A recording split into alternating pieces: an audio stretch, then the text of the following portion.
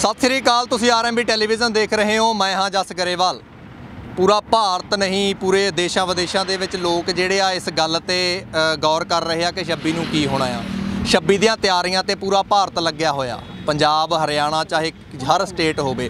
ਪਰ ਅੱਜ ਇੱਕ ਵੱਖਰੀ ਤਸਵੀਰ ਦਿਖਾਉਣ ਜਾ ਰਹੇ ਆ ਤੁਹਾਨੂੰ। ਹਰਿਆਣੇ ਤੋਂ ਮੁੰਡੇ ਚੱਲੇ ਨੇ ਨੌਜਵਾਨ। ਹੱਥ ਦੇ ਵਿੱਚ ਤਿਰੰਗਾ ਫੜਿਆ ਜਿਵੇਂ ਤੁਸੀਂ ਸਕਰੀਨ ਦੇ ਉੱਪਰ ਦੇਖ ਰਹੇ ਹੋ। ਤਾਂ ਇਹ ਭੱਜ ਕੇ ਜਾ ਰਹੇ ਨੇ। ਇਹਨਾਂ ਦੇ ਨਾਲ ਗੱਲਬਾਤ ਗੱਲਬਾਤ ਕੀਤੀ ਕਿ ਟਰੈਕਟਰ ਵੀ ਨਾਲ ਆ ਕਿਉਂ? ਤਾਂ 1 ਕਿਲੋਮੀਟਰ ਇਹਨਾਂ ਦੀ ਡਿਊਟੀ ਲੱਗੀ ਆ ਕਿ 1 ਕਿਲੋਮੀਟਰ ਇੱਕ ਜਾਣਾ ਭੱਜਦਾ ਆ ਉਸ ਤੋਂ ਬਾਅਦ ਚੇਂਜ ਕਰਦੇ ਆ ਫਿਰ ਅਗਲਾ ਭੱਜਦਾ ਆ। ਬਾਈ ਹੋਰੇ ਸਾਡੇ ਨਾਲ ਹੋਣਗੇ ਹਰਿਆਣੇ ਦੇ।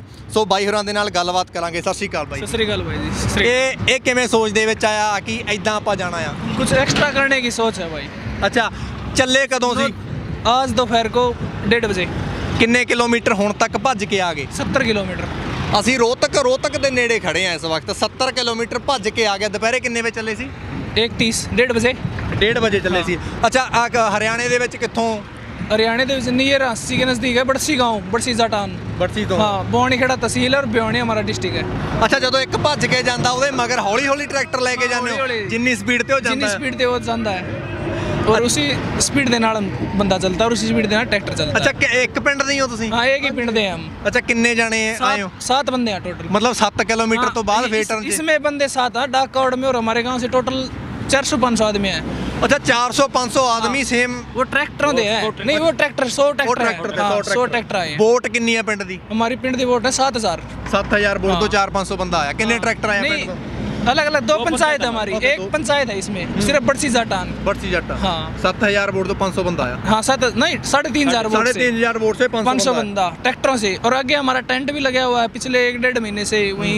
लंगर लंगर सारा सिस्टम चलता है ਅੱਛਾ ਸਾਰੇ ਇਹ- ਅੱਛਾ ਜਿਹੜੇ ਆਏ ਨੇ ਅੰਕਲ ਜੀ ਤੁਸੀਂ ਵੀ ਭੱਜ ਕੇ ਆਏ ਹੋ हाँ जी बच के आए जी खूब स्पीड पूरा थे जोश है ਅੱਛਾ ये- ਤੁਹਾਨੂੰ ये देखते ਚਲੋ हो। ਚਲੋ ਨੌਜਵਾਨ ਤਾਂ ਆ ਗਏ ਫਿਰ ਤੁਹਾਨੂੰ ਨਹੀਂ ਲੱਗਦਾ ਥੱਕਦੇ ਥੁੱਕਦੇ ਤਾਂ ਨਹੀਂ थकते नहीं जी जोश है जोश ਜੋਸ਼ हरिद्वार हर साल जाते हैं हम हरिद्वार अच्छा जाते जी। हैं हम हर साल डाक का हर साल डाक कार्ड लाते हैं हमको होगी में से आठ सात दस साल साल की करीब आठ दस होगी। साल होगी हमको ਅੱਛਾ ਇਹ ਜਿਹੜਾ ਜੋਸ਼ ਆ ਇਹ ਕੇਂਦਰ ਨੂੰ ਢਾਲੂਗਾ हाँ पूरा जमा फुल छोड़ा नहीं ये 26 ਦੀ ਪਰੇਡ ਦੀਆਂ ਤਿਆਰੀਆਂ ਕੀ ਕੀ ਆ तैयारियां तैयारी दूर जाएंगे जमा बिल्कुल ਕੀ- ਕੀ ਤਿਆਰੀਆਂ ਨੇ ਉੱਥੇ ਹੀ ਜਾ ਕੇ ਝੰਡਾ ਕੱਢਣਾ ਹੈ ਸੰਸਦ ਭਵਨ ਦੇ ਵਿੱਚ खट्टर की छाती में गाड़ेंगे झंडा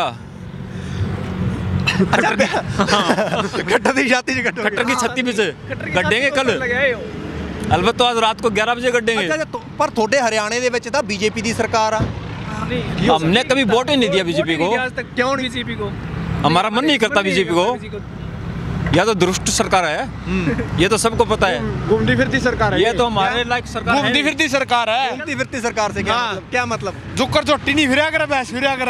ऐसे घूमती फिरती सरकार है जुक्कर कोई भैंस करवा देवा फिरा कर या घूमती फिरती सरकार है। अच्छा ये तस्वीर किदा की लगती है? जिम्मे पंजाब हरियाणा एक हो रहा। ये तस्वीर ये भाईचारा है अपना। पंजाब हमारा बड़ा भाई है। जिस वक्त हम अलग हुए थे उस समय उस वक्त क्योंकि ज़्यादा जनसंख्या हो गई थी हरियाणा की तो वे अलग हो गए थे क्योंकि ये तो दोनों एक ही है एक ही स्टेट है नू ही अलग हुआ था ताकि जनसंख्या ताकि कोई दिक्कत ना आए आगे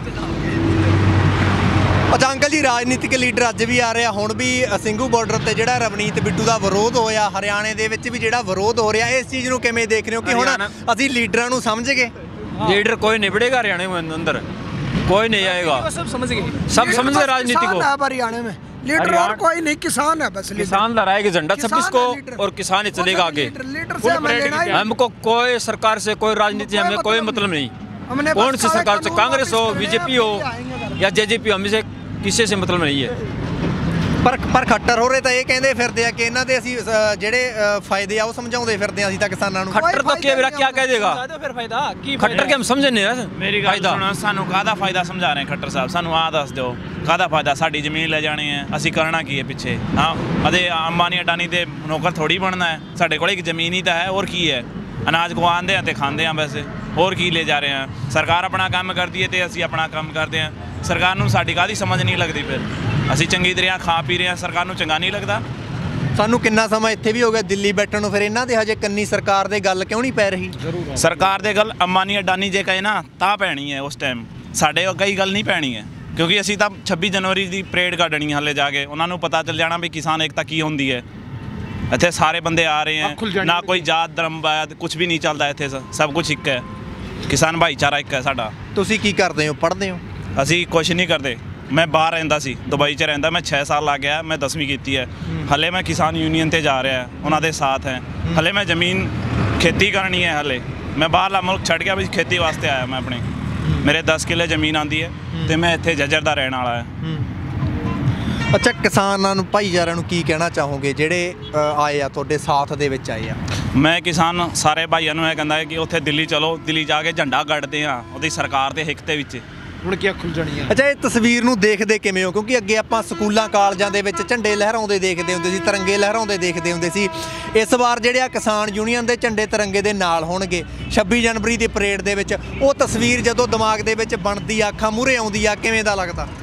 ਸਾਡੇ ਦਿਲ 'ਚ ਬਹੁਤ ਚੰਗਾ ਲੱਗ ਰਿਹਾ ਸਾਨੂੰ। ਆ ਤੁਸੀਂ ਦੇਖ ਸਕਦੇ ਹੋ ਟਰੈਕਟਰ ਤੇ ਵੀ ਝੰਡਾ ਟੰਗਿਆ। ਹਰ ਇੱਕ ਟਰੈਕਟਰ ਦੇ ਹਰ ਇੱਕ ਬੰਦਾ ਝੰਡੇ ਫੜ ਕੇ ਅਸੀਂ ਇੰਨੀ ਕਿਲੋਮੀਟਰ ਚੱਕ ਕੇ ਆਏ ਆ। ਸਾਨੂੰ ਬਹੁਤ ਚੰਗਾ ਲੱਗ ਰਿਹਾ ਹਲੇ।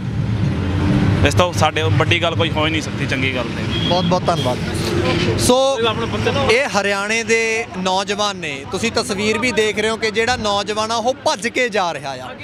ਇਹਨਾਂ ਦਾ ਜੋਸ਼ ਆ ਇਹ ਹੌਸਲਾ ਆ।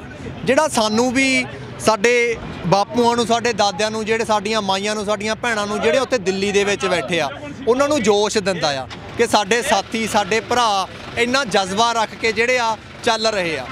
ਜਿੱਤ ਦਾ ਜਨੂਨ ਆ। ਜਿੱਤ ਦਾ ਜਜ਼ਬਾ ਆ ਕਿ ਜਿੱਤਾਂਗੇ ਜ਼ਰੂਰ। ਇਹਨਾਂ ਨੂੰ ਇਹ ਨਹੀਂ ਸੰਘਰਸ਼ ਕਿੰਨਾ ਲੰਬਾ ਹੋਵੇਗਾ। ਸੰਘਰਸ਼ ਕਿੰਨਾ ਵੀ ਲੰਬਾ ਹੋ ਸਕਦਾ ਹੈ, ਪਰ ਜਨੂਨ ਜਿਹੜਾ ਇਹਨਾਂ ਦੇ ਦਿਲਾਂ ਦੇ ਵਿੱਚ ਆ ਤੇ ਇਹ ਜਨੂਨ ਜਿਉਂ ਦਾ ਤਿਉਂ ਬਰਕਰਾਰ ਰਹਿਣਾ ਚਾਹੀਦਾ, ਤਾਂ ਹੀ ਹਕੂਮਤ ਦੇ ਗੋਡੇ ਜਿਹੜੇ ਆ, ਤਾਂ ਹੀ ਹਕੂਮਤ ਗੋਡੇ ਟੇਕਣ ਦੇ ਲਈ ਮਜਬੂਰ ਹੋਊਗੀ। ਆਰਐਮਬੀ ਟੈਲੀਵਿਜ਼ਨ ਦੇ ਨਾਲ ਬਣੇ ਰਹੋ, ਹੁਣ ਆਪਣੇ ਦੋਸਤ ਜਸ ਗਰੇਵਾਲ ਦਿਓ ਇਜਾਜ਼ਤ, ਧੰਨਵਾਦ ਜੀ।